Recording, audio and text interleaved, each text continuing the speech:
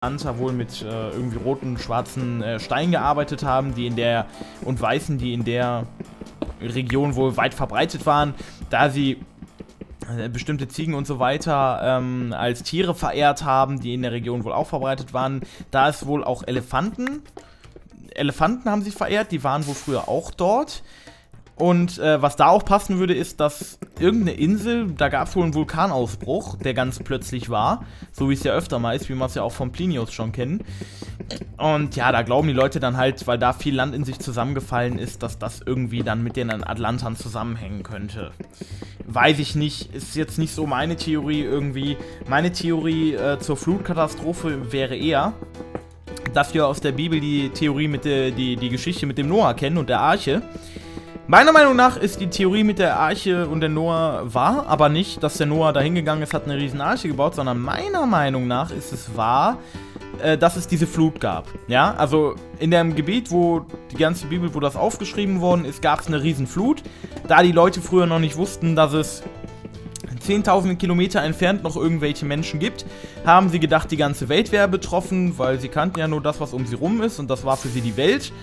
Und ja, deswegen waren sie dann eben der Meinung, wir bauen jetzt die ganze Zeit Obsidian ab. Ich weiß, das ist langweilig, aber ich muss mich gerade aufs Erzählen konzentrieren. Ich finde das so sau interessant. Und dafür können wir dann danach, wenn wir das hier abgebaut haben, Leute, können wir einen geilen Schutzbunker für den Ankh noch bauen und können die Nether-Portale bauen. Also, was wollen wir mehr? äh, jetzt bin ich raus. Ja, das mit der Flugkatastrophe, jetzt weiß ich gar nicht mehr. Jo. Ähm, ja, also eindeutige Beweise für Wasserstraßen gab es dann da und so weiter. Äh, ja, genau, diese Sintflut. Ähm, dass die wohl, also die Sintflut, glaube ich, biblisch gesehen soll 3000 noch irgendwas gewesen sein. Würde ja, ja, ja, würde nicht ganz hinkommen mit dem 9000 vor Christus. Aber wer weiß es, vielleicht gab es auch 9000 vor Christus eine Sintflut. Das geht nämlich, glaube ich, so ein bisschen einher mit, der, mit dem Ende der letzten Eiszeit, wenn ich mich nicht irre. Das heißt, irgendwie könnte auch das Eiszeitende gewesen sein, irgendwo dann so ein natürlicher Damm gebrochen sein oder so, man weiß es nicht. So, dann gibt es jemanden sehr Interessantes, von dem habe ich auch schon mal erzählt hier in dem Let's Play, Edgar Casey. Und Edgar Casey sagte, kündigte im Jahr 1968 die Auferstehung von Atlantis im Gebiet Binimi an. Tatsächlich hat man 1968 im Gebiet Binimi die Straßen von Binimi entdeckt. Man ist sich immer noch nicht sicher, ob diese Straßen von Benjamin nun natürlichen Ursprung sind oder ob sie künstlich erschaffen worden sind. Äh, auf jeden Fall hat Edgar Casey das angekündigt. Wirklich Atlantis gefunden hat man nicht. Vielleicht ähm, gehörte ein Teil von den Straßen von Benimi zu Atlantis, man weiß es aber nicht. Ja, man weiß nicht, ob es künstlich ist oder nicht. Das Problem ist, man könnte es natürlich ganz leicht irgendwo auch prüfen. Problem ist nur, dass dort überall Korallen sind. Und so wie ich das mitgekriegt habe, darf man in Amerika diese Korallen nicht zerstören. Die stehen unter Naturschutz. Wenn man da jetzt aber ein bisschen forschen will, wie alt der Stein ist und ob der bearbeitet wurde oder nicht, muss man die Korallen vom Stein entfernen. Und das darf man nicht. Damit macht man sich in Amerika strafbar. Und da die Forscher keine Sondergenehmigung kriegen, geht das wohl nicht. Also so habe ich es gehört. Ist ein bisschen dumm gelaufen. Was ist das denn? Nee, lass mal andere Musik machen. Ich muss... Mach mal die Musik, die ist geil. Ist so ein bisschen Regenwaldmusik. Ist richtig geil, finde ich so. Das passt mit den alten Kulturen und so. Äh, ja. Das ist natürlich ein bisschen blöd. Er hat auf jeden Fall immer wieder von Atlantis erzählt, hat sogar den Aufbau von Atlantis beschrieben, mit was für Königinnen es da gab und wie viele Reiche und was, was auch immer. Also, hm, ja, gab es einiges. Er sagt zum Beispiel auch, dass Atlantis Luftschiffe gehabt haben soll. Gewagte These, sehr gewagte These. Aber auch er sagt, dass Atlantis schwere Steine bewegt haben soll. Da sind wir wieder bei der Sache mit den Ägyptern Stonehenge und allem, ja. Also irgendwie muss es da einen Zusammenhang geben, wenn man dem glaubt. Also meiner Meinung nach gibt es da auch einen Zusammenhang. Wir kennen so wenig alte Kulturen bisher. also das ist, ich finde es aber auch komisch, ja. Man hat diese antiken Kulturen und es scheint irgendwie so, so einen Schnitt gegeben zu haben. Ab diesem Zeitpunkt irgendwie ist das Wissen der Alten größtenteils weg die sind verschwunden und keiner weiß mehr was von denen. Ja? Finde ich, find ich komisch irgendwie, dass wir heute in der Neuzeit kaum noch was von diesen mega alten Kulturen wissen, aber die da waren. Irgendwie sehr komisch. Ähm, dann erwähnte er zum Beispiel noch, dass sie äh, mit Atomkraft gearbeitet haben sollen, dass sie Uran und Radium als Hauptausgangsmittel für Atomkraft. Ey, sehr gewagte Thesen, ne? Also ob ich damit so übereinstimmen soll, weiß ich auch nicht wirklich. Aber ich lese euch das mal so vor. Ähm, so, das, das ist jetzt wirklich sehr interessant. Er sagte, dass ein, Name, Nam, äh, ein Mann namens Peniel, er würde, entscheiden, er würde eine entscheidende Botschaft überbringen. So, Peniel, diesen Mann gibt es wirklich. Und dieser Mann veröffentlichte. Also er hat das gesagt, dass dieser Mann Entscheidendes veröffentlicht, äh, veröffentlichen würde, bevor der, glaube ich, geboren worden ist überhaupt, dieser Mann Peniel. Oder beziehungsweise als er noch ganz, ganz jung war. Und tatsächlich veröffentlich, veröffentlichte dieser Mann Peniel 1998 ein Buch über Atlantis. Ja. Und sagte große, äh, nee, große Steinquader bei Binimi. Ja, was der gesagt hat, habe ich gar nicht mehr aufgeschrieben. Auf jeden Fall, ich habe mal reingelesen ein bisschen in das Peniel-Dingen. Er erzählt auch viel von den Strukturen ähm, über Atlantis, also Königreiche, wie das aufgebaut sein soll, was die geistigen Deren von Atlantis gewesen sein sollen und so weiter und so fort. Ähm, ja, dann gibt es interessante Sachen. Äh, die Bahamas zum Beispiel, da wird behaupt, äh, einige Wissenschaftler behaupten, dass die bis 1000 nach Christus unbesiedelt gewesen ähm, sein sollen. Das ist aber wohl auch widerlegt. Also es muss Leben auf den Bahamas schon gegeben haben. Also Straße von Binimi Bahamas, das ist alles in der Ecke. Was haben wir denn noch? Dass Meteoriten vor 11.000 Jahren im Atlantik niedergingen.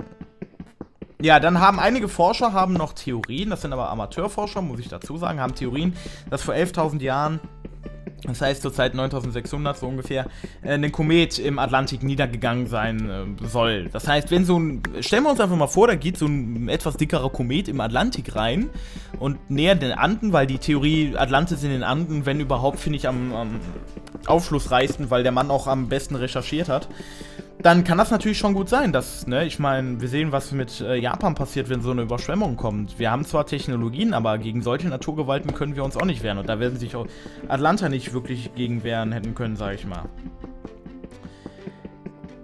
Ähm, Carolina Base soll durch äh, Kometenteile entstanden sein.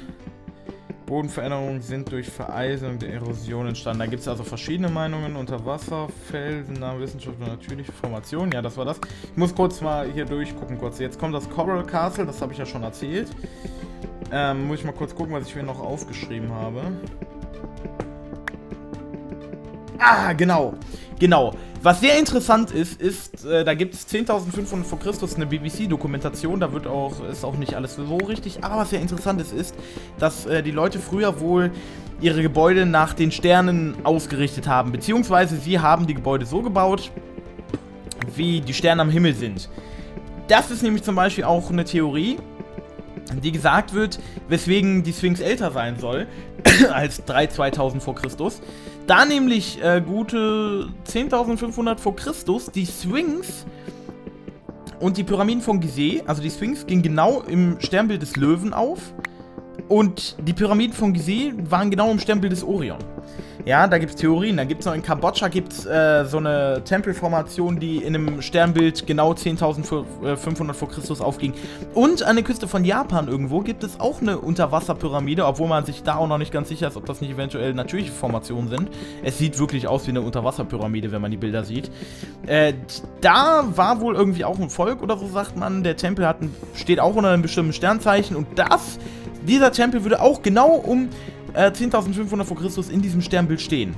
Ist natürlich schon interessant, dass in so verschiedenen Gebieten der Erde irgendwie zu 10.500 vor Christus irgendwie diese Pyramiden da so gestanden haben. Also in den Sternbildern aufgegangen sind, ne? Ähm, ja. Das, das dazu. Da gibt es auch noch Gemeinsamkeiten, sag ich mal. Ähm, so, jetzt muss ich mal gucken. Dann gibt es Berichte davon, dass die Bewohner von Yucatan, das ist die Maya-Insel da, äh, auch nahe Mexiko, dass, da gibt es also Berichte irgendwie von alten Völkern, dass es eine Insel östlich von Mexiko gegeben haben soll, die innerhalb einer Nacht untergegangen ist. Das wurde also von den Völkern von Mexiko weiter getragen, sage ich mal. Und das ist natürlich auch schon komisch. Ja? Platon erzählt irgendwie davon und die Völker von Mexiko erzählen irgendwie auch von einer Insel, die da so untergegangen sein soll. Auch wieder gewisse Parallelen, die man einfach, denke ich, wo man, die man nicht abschlagen sollte, die schon wirklich sehr interessant sind. So, jetzt haben wir es hier aber auch bei bald geschafft. Ich, ich rede mich schon wieder am Kopf und Kragen, aber es ist auch einfach so spannend gerade, Leute. Ich, ich muss darüber reden. So, dann gibt es noch die minoische Kultur. Davon vermuten auch einige, dass das eventuell Atlantis sein könnte. So, ähm... Dann hat man noch, das ist auch interessant, das würde zu äh, Edgar Case wieder passen. Moment, ich muss gerade mal kurz gucken, wo was. Dann hat man 1967 Überreste der Stadt in äh, Santorin entdeckt, also ein, einer Stadt in San, äh, Santorin. Und äh, wenn wir uns an Edgar Casey, äh, ne, wenn wir daran denken und überlegen, er hat gesagt, 1968 soll Atlantis auftauchen, dann findet man 67 was in Santorin. Und äh, das sind wohl Überreste der, der minoischen Kultur, wenn ich das jetzt hier so richtig äh, lesen kann. Und da wird auch gesagt, die hätten einen hoher, ähm, hohen technischen